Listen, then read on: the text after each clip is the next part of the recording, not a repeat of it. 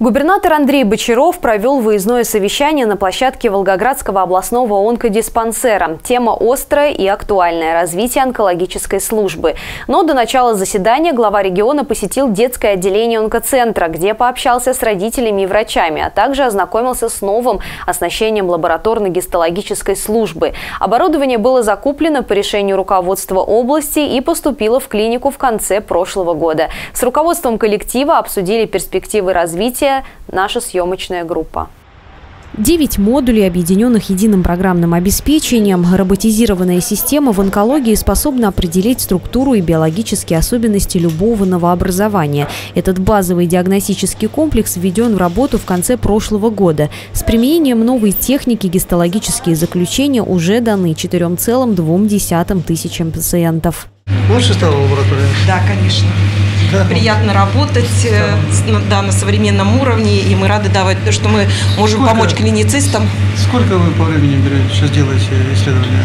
Четыре дня максимум, а то и срочные можем за два дня и за три делать. А сколько раньше? Раньше у нас было и 7, и 10 дней, поскольку частично вручную а. вели э, обработку. Значительно повысилось качество исследований, приблизившись к мировому уровню, а это значит, что заболевание можно обнаружить на ранней стадии и начать своевременное лечение. Однако современным оборудованием необходимо обеспечить весь онкодиспансер.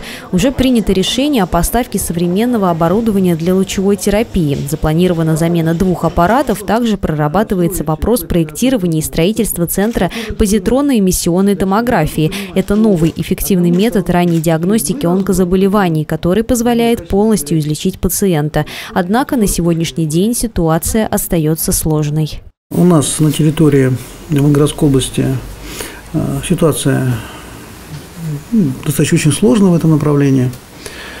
Э, да, на самом деле очень сложная. Э, порядка 10 тысяч человек ежегодно мы дополняем к тем спискам людей, которые больны онкозаболеваниями. Поэтому плюс 10 тысяч ежегодно. Это очень большой показатель э, для Волгоградской области. А, конечно, это в части связано и с э, более качественным обследованием, которое мы начали проводить. Это тоже факт, Владимир Анатольевич, но все равно ситуация абсолютно нездоровая. Губернатор отметил, что в регионе необходимо выстроить эффективную систему диагностики и профилактики онкологических заболеваний. Для этого необходимо модернизировать существующие филиалы онкодиспансера, а также открывать новые.